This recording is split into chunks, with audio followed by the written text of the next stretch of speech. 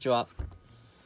波乗り大式製図師潤太です、えー今からですね、えー次回行くキャンプ場の下見に行っていきたいと思います、えー私の車が車高が低いのでキャンプサイトのせっかくなんで真横に車をつけたいので車が入れるかどうかを見に行ってきます。うちの田舎うち田舎なので結構キャンプ場が車で10分15分の距離にたくさんあるので、えーすごくキャンプには恵まれてると思います。波乗り大式精通士なのになかなか波に乗りに行けるような距離に海がなくてこの時期はキャンプ動画をアップしていきたいと思います。では下見ていきます。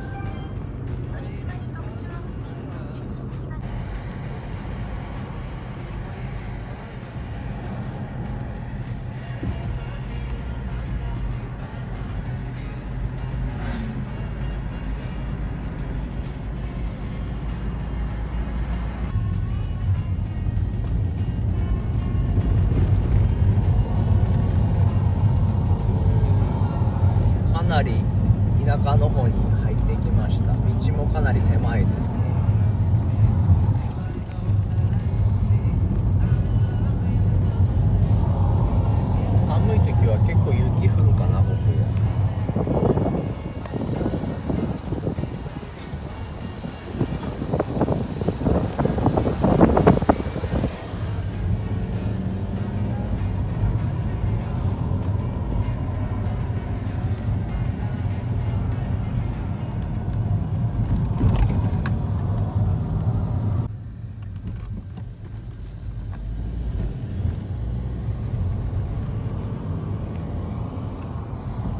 天気やな。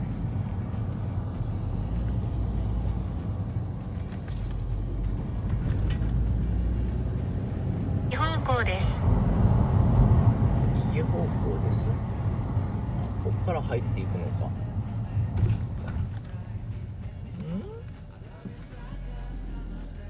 右方向入れないどういうことだ？2.5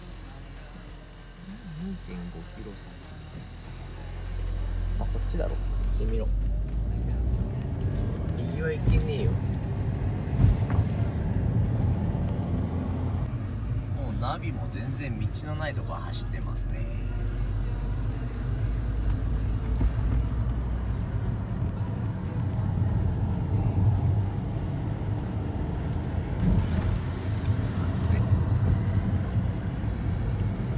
果たしてどんなとこでしょうか？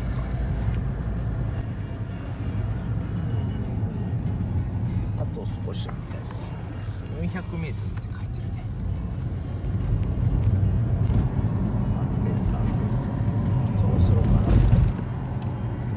おおなんかそれらしいところが出てきた。あここだ。ここだ。ここだ。グランプズここか。ここ降りていくのかな。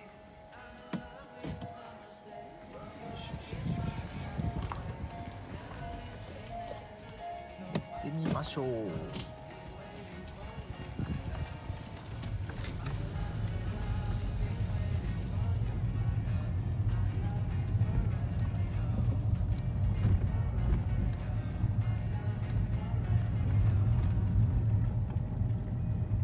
結構整地されていい感じのとこですね。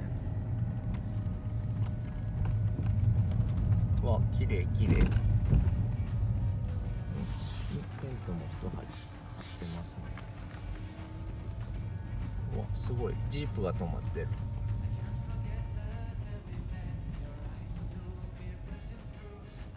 へえここちょっと入ってみましょう。